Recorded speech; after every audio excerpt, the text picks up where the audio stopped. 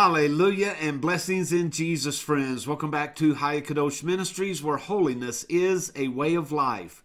Jesus is truly King of Kings and Lord of Lords, and the Holy Bible, praise God, is our only standard and authority for truth. And together, God's people say, Hallelujah. Well, friends, we're continuing our study in the book by Andrew Murray, which is titled Absolute Surrender. And before we begin today, I want to let you know that we began this series with a study entitled The Road to Calvary. There was three parts to that study. We next talked about the book Humility by Andrew Murray. As I stated, we are currently in Absolute Surrender by Andrew Murray. And once we complete that, we're going to take a look at a book called Love Not the World by a man called Watchman Nee. Now, once we complete that in our one a day series, and we will create a separate playlist for it as well, but we're going to begin a study on a book called The Spiritual Man by Watchman Nee as well. Now, you can pick this up from Amazon.com, you can pick this up from ChristianBook.com, and various other places. But I would highly encourage you to pick up a copy because, as you can see, this is a pretty lengthy book. And so, this is a series that is probably going to carry us throughout the rest of the year. Now, just to give you an example, some of the chapters are titled Spirit, Soul, and Body. Spirit and soul, the fall of man, the flesh and salvation, the cross and the Holy Spirit, the believer's ultimate attitude toward the flesh, the experience of soulish believers, the dangers of soulish life. And so, as you can follow along with us through this series, I wanted to bring this to your attention so that you can pick up a copy for yourself and you can follow along with us. Well, with that being said, let's pick up today in chapter 2 of Absolute Surrender. Chapter 2 is titled The Fruit of the Spirit is Love. Now, I want to look at the fact of a life filled with the Holy Spirit more from the practical side and to show how this life will show itself in our daily walk and conduct. Under the Old Testament, you know the Holy Spirit often came upon men as a divine spirit of revelation to reveal the mysteries of God, or for power to do the work of God. But he did not then dwell in them. Now, many just want the Old Testament gift of power for work, but they know very little of the New Testament gift of the indwelling Spirit, animating and renewing the whole life. When God gives the Holy Spirit, his great object is the formation of a holy character. It is a gift of a holy mind and spiritual disposition. And what we need above everything else is to say, I must have the Holy Spirit sanctifying my whole inner life if I am really to live for God's glory. You might say that when Christ promised the Spirit to the disciples, he did so that they might have power to be witnesses. True, but then they received the Holy Ghost in such heavenly power and reality that he took possession of their whole being at once and so fitted them as holy men for doing the work with power as they had to do it. Christ spoke of power to the disciples, but it was the Spirit filling their whole being that worked the power. I wish now to dwell upon the passage found in Galatians chapter 5 verse 22. The fruit of the spirit is love. We read that love is the fulfilling of the law. This is in Romans 13:10. And my desire is to speak on love as a fruit of the spirit with a twofold objective. One objective is that this word may be a searchlight in our hearts and give us a test by which to try all our thoughts about the Holy Spirit and all our experience of the holy life. Let us try ourselves by this word. Has this been our daily habit? To seek being filled with the Holy Spirit as the Spirit of love. The fruit of the Spirit is love, we are told. Has it been our experience that the more we have of the Holy Spirit, the more loving we become? In claiming the Holy Spirit, we should make this the first objective of our expectation. The Holy Spirit comes as a spirit of love. Oh, if this were true in the Church of Christ, how different her state would be. May God help us to get hold of this simple heavenly truth that the fruit of the Spirit is a love which appears in the life, and that just as the Holy Spirit gets real possession of the life, the heart will be filled with real divine universal love. A second objective is to show that one of the great causes why God cannot bless His church is the want of love. When the body is divided, there cannot be strength. In the time of their great religious wars, when Holland stood out so nobly against Spain, one of their mottos was, Unity gives strength. It is only when God's people stand as one body, one before God in the fellowship of love, one toward another in deep affection, one before the world in a love that the world can see. It is only then that they will have power to secure the blessing which they ask of God. Remember that if a vessel that ought to be one whole is cracked into many pieces, it cannot be filled. You can take a potsherd, one part of a vessel, and dip out a little water into that. But if you want the vessel full, the vessel must be whole. That is literally true of Christ's church. And if there is one thing we must pray for still, it is this Lord, melt us together into one by the power of the Holy Spirit. Let the Holy Spirit, who at Pentecost made them all of one heart and all of one soul, may he do his blessed work among us.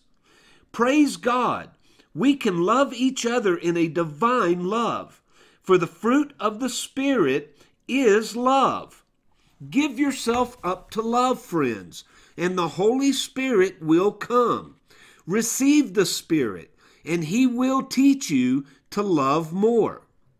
Now, why is it that the fruit of the Spirit is love? Because God is love. And what does that mean? It is the very nature and being of God to delight in communicating Himself.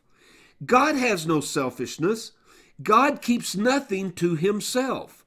God's nature is to always be giving.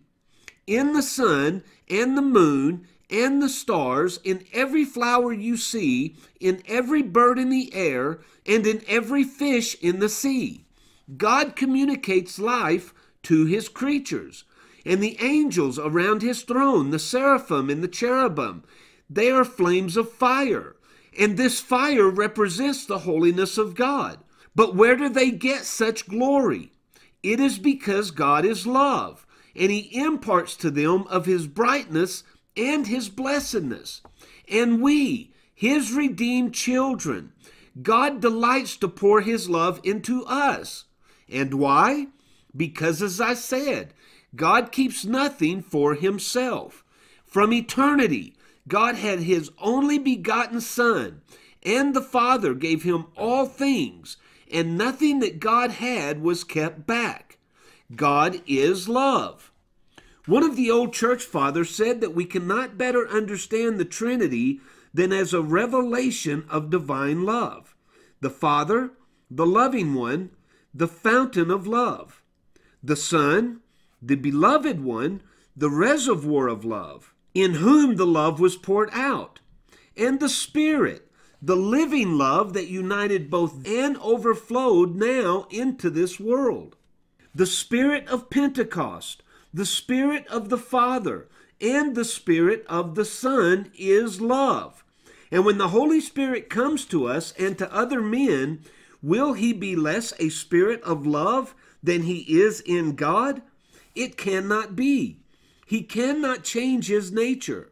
The Spirit of God is love, and the fruit of the Spirit is love. Why is that so? That was the one great need of mankind. That was the thing which Christ's redemption came to accomplish to restore love to this world. When man sinned, why was it that he sinned? Selfishness triumphed. He sought self instead of God. And just look, Adam at once begins to accuse the woman of having led him astray. Love to God had gone, love to man was lost. Look again. Of the first two children of Adam, the one becomes a murderer of his brother. Does not that teach us that sin had robbed the world of love? Ah, what a proof the history of the world has been of love having been lost. There may have been beautiful examples of love even among the heathen, but only as a little remnant of what was lost. One of the worst things sin did for man was to make him selfish, for selfishness cannot love. The Lord Jesus Christ came down from heaven as the Son of God's love. We are told God so loved the world that he gave his only begotten Son. God's Son came to show what love is, and he lived a life of love here upon earth in fellowship with his disciples, in compassion over the poor and miserable, in love even to his enemies. And he died the death of love. And when he went to heaven, whom did he send down? The Spirit of love, to come and banish selfishness and envy and pride, and to bring the love of God into the hearts of men. The fruit of the Spirit is love. And what was the preparation for the promise of the Holy Spirit? You know that promise as found in the 14th chapter of John's Gospel. But remember what proceeds in the 13th chapter. Before Christ promised the Holy Spirit, he gave a new commandment. And about that new commandment, he said wonderful things. One thing that he said was, Even as I have loved you, so love ye one another. To them, his dying love was to be the only law of their conduct and intercourse with each other. What a message to those fishermen, to those men full of pride and selfishness. Learn to love each other, said Christ, as I have loved you. And by the grace of God, they did it. When Pentecost came, they were of one heart and one soul. Christ did it for them. And now he calls us to dwell and to walk in love. He demands that though a man hate you, still you love him. True love cannot be conquered by anything in heaven or upon the earth. The more hatred there is, the more love triumphs through it all and shows its true nature. This is the love that Christ commanded his disciples to exercise. What more did he say? By this shall all men know that you are my disciples, if you have love one to another. You all know what it is to wear a badge, and Christ said to his disciples, in effect, I give you a badge, and that badge is love. That is to be your mark. It is the only thing in heaven or on earth by which men can know me? Do we not begin to fear that love has fled from the earth? That if we were to ask the world, Have you seen us wear the badge of love? that the world would say no? What we have heard of the Church of Christ is that there is not a place where there is no quarreling and separation. Let us ask God with one heart that we may wear the badge of Jesus' love. God is able to give it. The fruit of the Spirit is love. Why? Because nothing but love can expel and conquer our selfishness. Self is the great curse, whether in its relation to God or to our fellow man in general, or to fellow Christians. Thinking of ourselves and seeking our own is our curse. Self is our greatest curse. But praise God Christ came to redeem us from self. We sometimes talk about deliverance from the self life, and we thank God for every word that can be said about it to help us. But I am afraid some people think deliverance from the self life means that now they are going to have no longer any trouble in serving God. And they forget that deliverance from self life means to be a vessel overflowing with love to everyone all the day. And there you have the reason why many people pray for the power of the Holy Ghost and they get something, but oh, so little. Because they prayed for power for work and power for blessing, but they have not prayed for power for full deliverance from self. That means not only the righteous self in intercourse with God, but the unloving self in intercourse with men. And there is deliverance. The fruit of the Spirit is love. I bring you the glorious promise of Christ that He is able to fill our hearts with love, His love. A great many of us try hard at times to love. We try to force ourselves to love. And I do not say that this is wrong. It is better than nothing, but the end of it is always very sad. When we say to ourselves, I fail continually. And what is the reason for our failure? The reason is simply this because they have never learned to believe and accept the truth that the Holy Spirit can pour God's love into their heart. That blessed text, often it has been limited when it says, the love of God is shed abroad in our hearts. We often understand it to say it means the love of God to me. Oh, what a limitation! That is only the beginning. The love of God is always the love of God in its entirety, in its fullness as an indwelling power. A love of God to me that leaps back to Him in love and overflows to my fellow men in God's love for me and my love for God and my love to my fellow men. The three are one, you cannot separate them. Do believe that the love of God can be shed abroad in your heart, friend, and that we can love all the day long. Ah, you say, how little I have understood that. Think about it like this Why is a lamb always gentle? Because that is its nature. Does it cost the lamb any trouble to be gentle? No. Why not? It is so beautiful and gentle. It was created that way. Has a lamb to study to be gentle? No. Why does it come so easy for the lamb to be gentle? Because it is in its nature. And a wolf, why does it cost a wolf no trouble to be cruel and to put its fangs into the poor lamb or sheep? Because that is its nature. It has not to summon up its courage. The wolf nature is there. And so, how can we learn to love? Never until the Spirit of God fills our hearts with God's love. And then we begin to long for God's love in a very different sense from which we have sought it so selfishly, as a comfort and a joy and a happiness and a pleasure to myself.